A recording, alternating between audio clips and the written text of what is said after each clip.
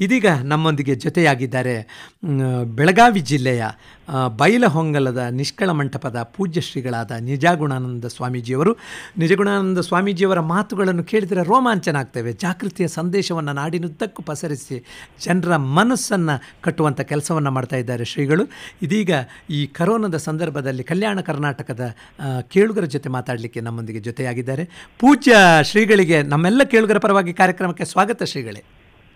ಶರಣು ಶರಣಾರ್ಥಿ ತಮ್ಮೆಲ್ಲರಿಗೂ ಅಪರೇ ಬಹಳ ಮುಖ್ಯವಾಗಿ ನಾವೊಂದು ಕಷ್ಟ ಕಾಲದಲ್ಲಿದ್ದೇವೆ ಒಂದು ಯಾವುದೇ ರೀತಿಯ ದಿಕ್ಕು ದೆಸೆ ಇಲ್ಲದಂತೆ ಒಂದು ನಮ್ಮ ಜೀವನ ನಡೀತಾ ಇದೆ. ಇಂತಹ ಸಂದರ್ಭದಲ್ಲಿ ಪೂಜ್ಯ ಶ್ರೀಗಳಾದ ನಿಮ್ಮ ಆಶಯದ ಒಂದು ಭರವಸೆಯ ಮಾತುಗಳನ್ನು ಏನು ಹೇಳ್ತೀರಿ ನಮ್ಮ ಕೇಳುಗರಿಗೆ? ಎಲ್ಲರಿಗೂ ಸಹ ಬೆಳಗಿನ ಮಧ್ಯಾಹ್ನದ ಶುಭಾಶಯಗಳು. ಈ ಕೋವಿಡ್ ಅನ್ನತಕ್ಕಂತಹ ಒಂದು ರೋಗ ಇವತ್ತು ಎಲ್ಲ ಜನರ ಮನಸ್ಸನ್ನ ತಲ್ಲಣಗೊಳಿಸಿದೆ ಹೌದು. ಬದುಕೋದು ಕಷ್ಟ ಅನ್ನತಕ್ಕಂತ ಭಾವನೆಯಲ್ಲಿದ್ದಾರೆ ಎಲ್ಲ ಹೌದು ಗುರುಗಳೇ. ಆದ್ರೆ ಒಂದು ಮುಖ್ಯವಾಗಿ ನಾವು ಗಮನಿಸ್ಕೊಳ್ಬೇಕು. ಸೃಷ್ಟಿ ತನ್ನದೇ ಆದಂತ ನಿಯಮಗಳನ್ನ ಪರಿಪಾಠದಲ್ಲಿ ಇಟ್ಟುಕೊಂಡಿದೆ. ಸೃಷ್ಟಿಗೆ ನಾವು ಅಲ್ಲ. ಹಾಗಾಗಿ ವೀಕ್ಷಕರಾಗಿ ಬಂದ ನಂತರ ಈ ವೀಕ್ಷಣೆಯ ಒಳಗಡೆ ಅನೇಕ ರೀತಿಯ ನೋವು ನಲಿವು ಸುಖ ದುಃಖಗಳೆಲ್ಲವೂ ಬರುವುದು ಸಹಜ. ಈ ನೋವು ನಲಿವುಗಳ ಮಧ್ಯದಲ್ಲಿ ಅನೇಕ ರೀತಿಯ ಸುಮಾರು ಐದು ಸಾವಿರ ವರ್ಷದಿಂದ ಮನುಷ್ಯ ಸಮಾಜ ಎಲ್ಲಾ ರೀತಿಯ ನೋವು ನಲಿವುಗಳನ್ನ ಕೊಂಡುಕೊಂಡ್ತಾನೆ ಈ ಸಮಾಜದಲ್ಲಿ ಬದುಕಿದೆ. ಹೌದು. ಇದರ ಮಧ್ಯದಲ್ಲಿ ಈಗ ನಮ್ಮ ಈ ಆಧುನಿಕತೆಯ ತಂತ್ರಜ್ಞಾನ ಕಾಲದಲ್ಲಿ ಇದೊಂದು ನಮಗೆ ಹೆಮ್ಮಾರಿಯಾಗಿ ಕಂಡಿರ್ತಕ್ಕಂಥದ್ದು ಎಲ್ಲರಿಗೂ ವಿಸ್ಮಯ ಅನ್ನಿಸ್ತಾ ಇದೆ. ಹೌದು ಗುರುಗಳೇ. ಹಿಂದಿನ ದಿನಮಾನಗಳಿಗೆ ಹೋದಾಗ ಇಷ್ಟು ವಿಜ್ಞಾನ ಮುಂದುವರೆದಿರಲಿಲ್ಲ ತಂತ್ರಜ್ಞಾನ ಮುಂದುವರೆದಿರಲಿಲ್ಲ. ಆ ಸಂದರ್ಭದಲ್ಲಿ ಅನೇಕ ರೋಗ ರುಜಿನಗಳು ಬಂದಾಗಲೂ ಸಹ ಮನುಷ್ಯ ತನ್ನ ಆತ್ಮಸ್ಥೈರ್ಯವನ್ನು ಕಳೆದುಕೊಂಡಿರಲಿಲ್ಲ. ಹೌದು. ದೇವರ ವಿಶ್ವಾಸಗಳನ್ನು ಕಡಿಮೆ ಮಾಡಿಕೊಂಡಿರಲಿಲ್ಲ.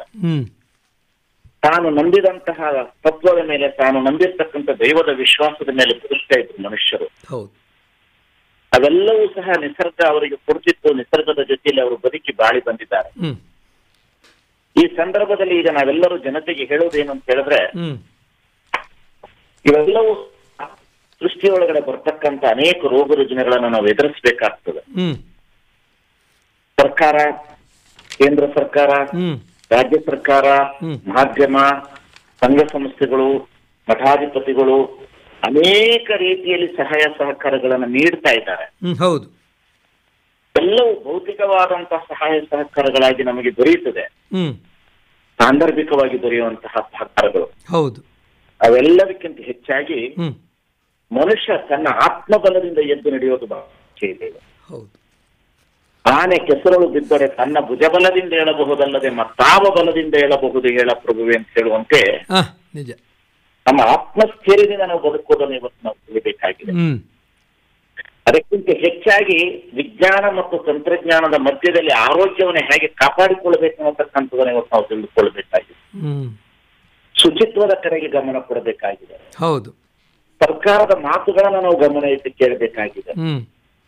ಆದಷ್ಟು ನಮಗೆ ನಾವೇ ನಮ್ಮ ಜೀವನದ ಮೌಲ್ಯಗಳಿಗೆ ಬಂಧನಗಳನ್ನು ಹಾಕಿಕೊಂಡು ಬದುಕುವ ನಿಯಮಗಳನ್ನು ಕಾಪಾಡಿಕೊಳ್ಬೇಕಾಗಿ ಹೌದು. ಇದೆಲ್ಲವನ್ನ ನಾವು ಹಾಕಿಕೊಂಡಾಗ ಮಾತ್ರ ನಾವು ಇವೆಲ್ಲವನ್ನು ಎದುರಿಸಲಿಕ್ಕೆ ಸಾಧ್ಯತೆ ಇದೆ.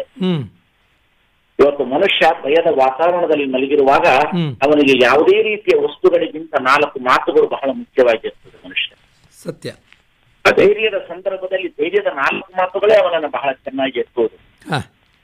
ಹಾಗಾಗಿ ಈ ದೇಶದಲ್ಲೆಲ್ಲ ಈ ಜಗತ್ತಿಗೆ ಬಂದಿರತಕ್ಕಂತಹ ಈ ಒಂದು ಮಹಾರೋಗವನ್ನ ನಾವೆಲ್ಲರೂ ಎದುರಿಸಬೇಕಾದ್ರೆ ನಮ್ಮೆಲ್ಲರ ಬದುಕಿನ ದಿನಚರಿಗಳನ್ನು ಬದಲಾಯಿಸಿಕೊಳ್ಬೇಕು ಹೌದು.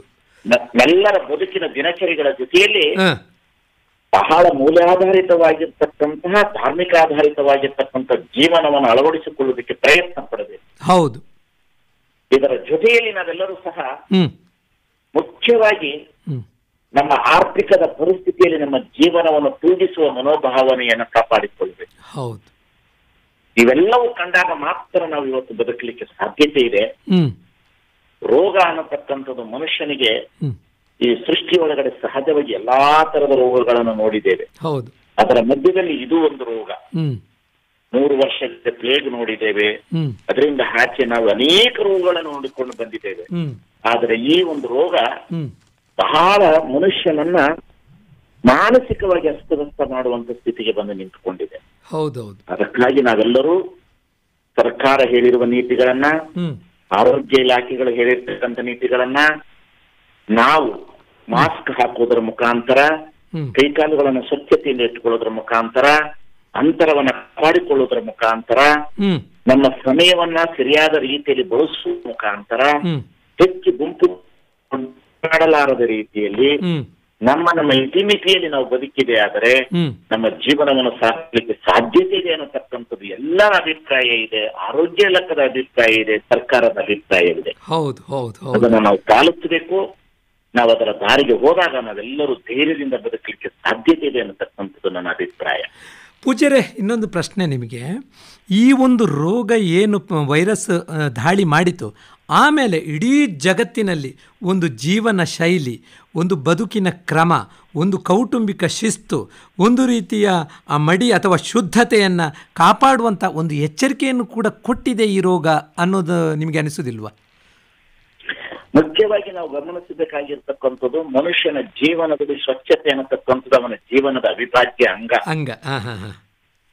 ಅದು ಅವನ ಬದುಕಿನ ಅವಿಭಾಜ್ಯ ಅಂಗ. ಅವನು ಅದನ್ನು ಇವನು ರೋಗ ಬಂದರೂ ಕಾಪಾಡಿಕೊಳ್ಳಬೇಕು ರೋಗ ಬರದೇ ಇದ್ರೂ ಅವನು ಕಾಪಾಡಿಕೊಳ್ಳಬೇಕು. ಹೌದು. ಆದರೆ ಈಗ ಈ ಸಂದರ್ಭದಲ್ಲಿ ಆ ಸ್ವಚ್ಛತೆ ಇಲ್ಲದ ಮನುಷ್ಯನಿಗೂ ಸಹ ಸ್ವಚ್ಛತೆಯ ಕಡೆಗೆ ಬರ್ತಕ್ಕಂಥದ್ದು ಎಚ್ಚರಿಸಿದೆ ಅನ್ನತಕ್ಕಂಥದ್ದನ್ನು ನಾವಿಲ್ಲಿ ಕಾಣಬೇಕಾಗಿ ಒಪ್ಪಬೇಕಾಗ್ತದೆ ಹೌದು. ಯಾಕೆಂದ್ರೆ ದಾರಿಯಲ್ಲಿ ಉಗುಳಬಾರದು. ಇದು ನಾವು ಗಮನ ಇಟ್ಟುಕೊಳ್ಬೇಕು ಈಗ ಯಥೇಚ್ಛವಾಗಿ ನಾವು ಎಲ್ಲೆಡೆ ಹಾಕೊಂಡು ದಾರಿಯಲ್ಲಿ ಉಗುಳುತ್ತೇವೆ ಹೌದು. ಅಲ್ಲಲ್ಲೇ ಉಗುಳುತ್ತಾ ಇರ್ತೇವೆ. ಹೌದು ಹೌದು. ಆ ಉಗುಳುವ ವ್ಯವಸ್ಥೆಯಿಂದ ದೂರ ಸರಿಯಬೇಕು. ನಾವು ಮಲಮೂತ್ರ ವಿಸರ್ಜನೆಗೆ ಹೋದಾಗ ಹೆಚ್ಚಿನ ನೀರನ್ನು ಬಳಸಬೇಕು. ಪ್ರಸಾದ ಆದ ಮೇಲೆ ನಾವು ಕೈಕಾಲುಗಳನ್ನು ತೊಳೆದುಕೊಳ್ಳಬೇಕು. ಪ್ರಸಾದ ಆಗುವ ಪೂರ್ವದಲ್ಲಿ ಕೈಕಾಲನ್ನು ತೊಳೆದುಕೊಂಡೇ ಪ್ರಸಾದಕ್ಕೆ ಕೂತ್ಕೊಳ್ಬೇಕು. ಹಾಂ.